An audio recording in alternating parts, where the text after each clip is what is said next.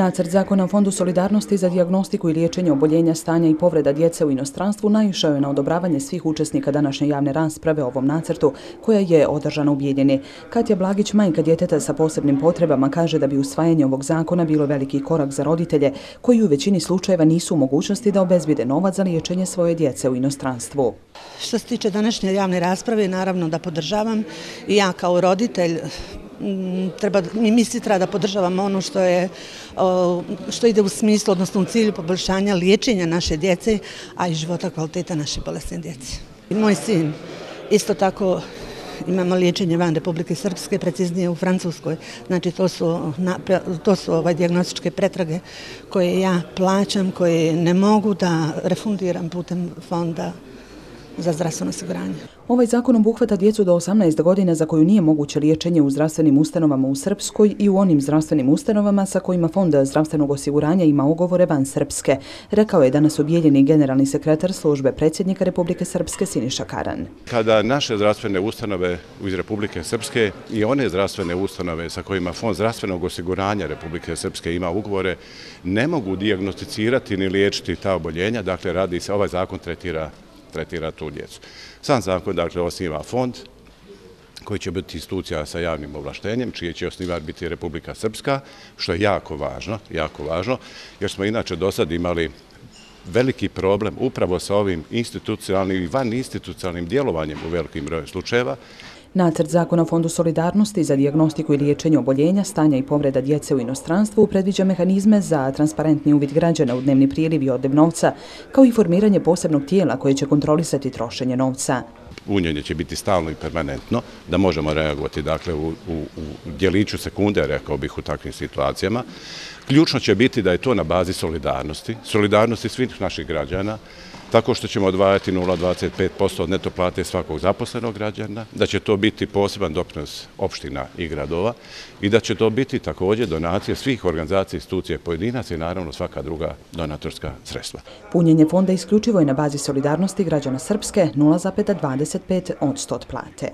Ono što zakon posebno tretira je način na koji će se ta sredstva dodjeljivati. Prije svega će to biti stručna komisija od specijalista određenih struka, medicinske struke, naravno, i u ta odobrenja će dakle raditi upravni odbor i direktor fonda. I ono što je također posebno važno kada je riječ o ovoj vrsti aktivnosti je apsolutna kontrola sredstava, utroška sredstava, prikupljanja tih sredstava i vidljivosti na stanje stanja na računima.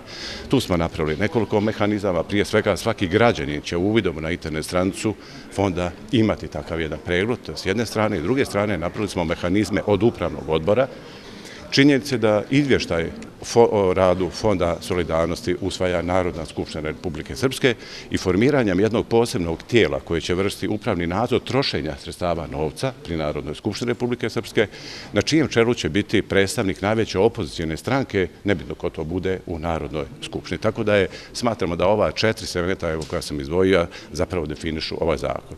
Karan je ovom prilikom podsjetio i na značaj usvajanja ovog prijedloga zakona. Već više godina E, cjelokupno naše društvo, svi naše građani, Republika Srpska i sve njene institucije na različite načine su pomagale djeci koja su teško boljela i vi ste svi svjedoci da smo imali veliki broj akcija humanitarnog donatorskog karaktera koja su bila uspjenena odnosno na prikupljanje novčanih sredstava za djecu sa posebnim potrebama, malignim oboljenjima, teškim oboljenjima i tako dalje, djecu sa autizmom, diabetesom i tako dalje. Međutim, Nažalost, također sva naša javnost e, je svjedok da u nekim situacijama naše društvo ipak nije rekao bi bilo, pored izražene solidarnosti, dovoljno brzo da spasi znači, život.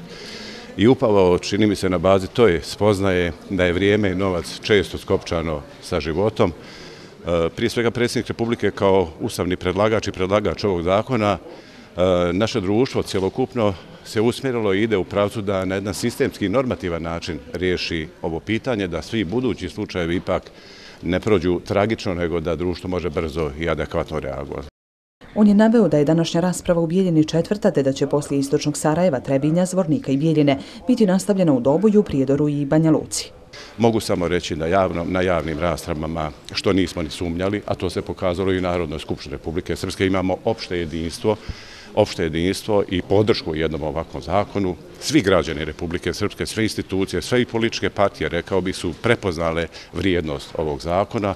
U tom pravcu i primjedbe na javnim raspravama idu, dakle, samo u dijeloma možda dalje preciziranja, preciznije preciziranja primjera radi kome će se konkretno odobravati ta sredstva, da se možda smanje rokovi, Eh, da se možda još dodaju neki drugi izvori sredstava kao što je jedan stalni humanitarni broj i tako dalje i tako dalje. U svakom slučaju smo mi do sada zadovoljni javnom raspravom.